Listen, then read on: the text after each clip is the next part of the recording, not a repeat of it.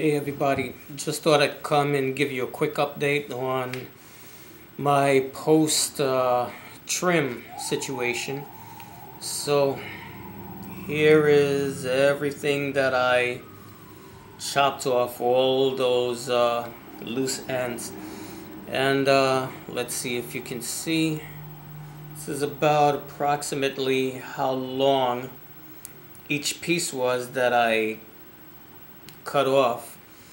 Um, hey, you know what? It's only here. It goes back.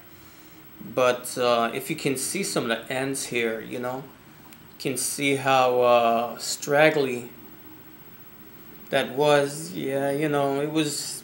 I I really, you know, debated with myself for a long time what to do. But you can see, you know, those ends really not very healthy. You know, they're thin and like really bushy at the ends, you know.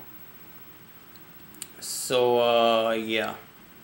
I figured it was just best to cut them all off for the overall health of my hair because, you know, what was happening is that those ends were getting, you know, caught on each other, creating tangles, and then, you know, you end up getting, uh, here we go again.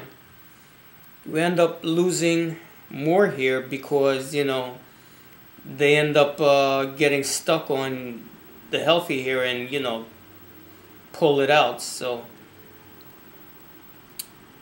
Yep. There we go. Well it'll all grow back again. And this time when it grows back it'll be a lot healthier and, um, you know, like I've said before in previous videos, I really don't have a very thick head of hair. And you can tell by just looking that my, um, my, my left side, for whatever reason, is uh, thicker than my right side. But, um, you know, whatever you have, you make it work for you. And, um, it looks a lot better in real life than it actually does on camera, you know.